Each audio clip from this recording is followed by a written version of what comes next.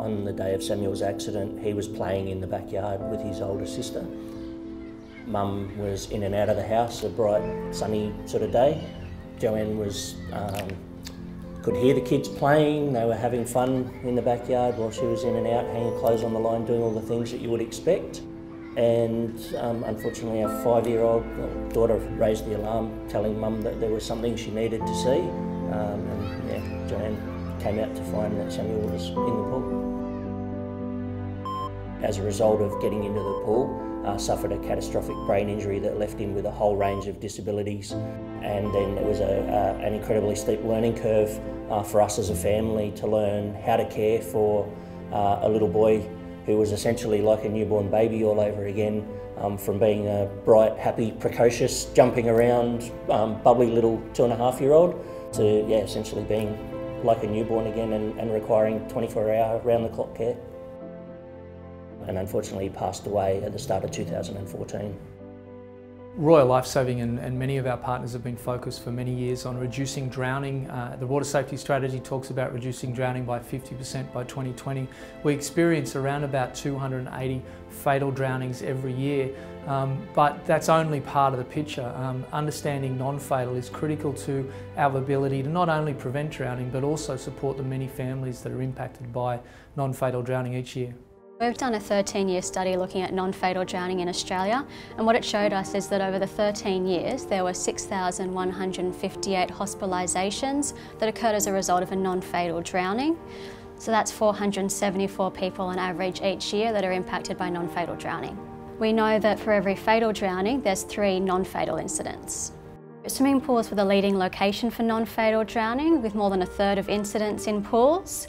Interestingly, over the 13 years, non-fatal drownings actually increased by 42%, whereas at the same time, fatal drowning has decreased by 17%. So what really stood out was children under the age of five. It's really concerning to us. There were 42% of these non-fatal incidents just in children between the ages of zero and four years.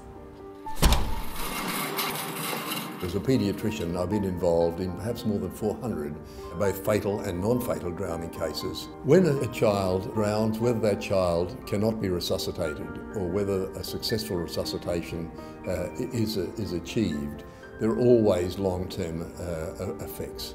We do know that in the case of non-fatal drowning, in the case of children at least, about 20 or 30% have some islands of mental functioning picked off by the lack of oxygen but a very small proportion of children remain in a, tragic, almost vegetative state for the rest of their life.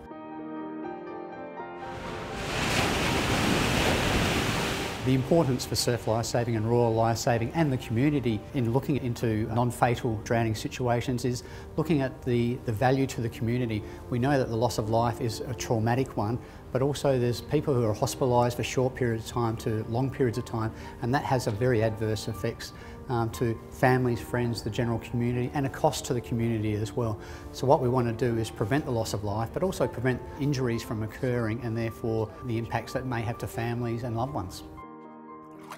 Non-fatal drowning impacts so many more Australians than fatal drowning.